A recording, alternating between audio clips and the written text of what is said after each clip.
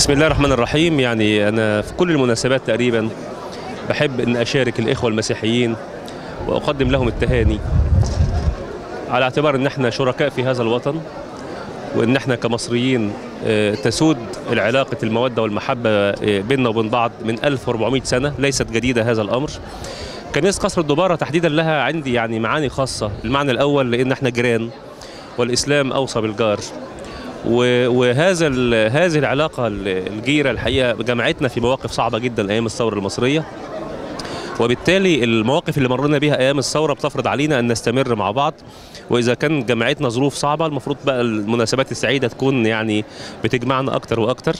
أنا بنتهز هذه الفرصة وبقول لكل مصر كل سنة وأنتم طيبين بقول للشعب المصري بقول للإخوة المسيحيين تحديدا كل عام وأنتم بخير.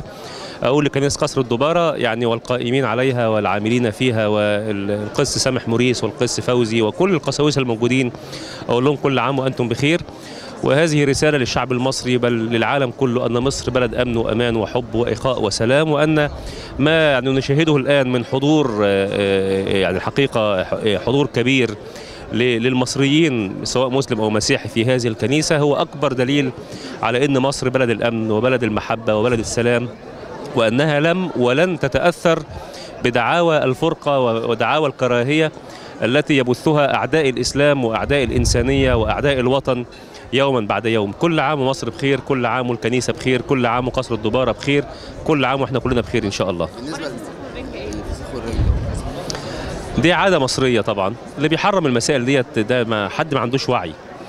الأصل في الأشياء الإباحة ما لم يرد نص على التحريم. وبالتالي كل هذه الأمور سواء الفسيخ أو الرنجة إذا كان ليها يعني بتدخل بتدخل السعادة على على قلب الأسرة ال- ال- ال- ال- ال- المصرية في وقت من الأوقات يبقى الاحتفال بها لا بأس به. وبالتالي أنا أنا النهاردة بالفعل وبكرة ويعني تقريبا عندي نسايبي وكل في البيت بتلاقي سمك بتلاقي رنجة بتلاقي بيض بتلاقي نفس العادات المصرية. إحنا يعني بنشارك المصريين في نفس العادات لأن إحنا في النهاية مصريين وده ده, ده شيء أحله الله سبحانه وتعالى. قل من حرم زينة الله التي أخرج لعباده والطيبات من الرزق؟ قل هي للذين آمنوا في الحياة الدنيا خالصة يوم القيامة. فبالتالي إن شاء الله ربنا يأجرنا خير على كل آه، شيء بنعمله في سبيل هذا البلد بإذن الله.